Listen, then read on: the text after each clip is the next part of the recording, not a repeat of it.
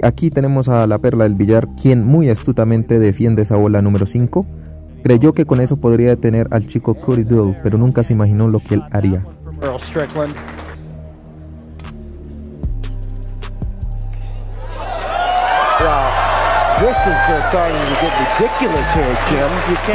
Esta cosa es real, hijo.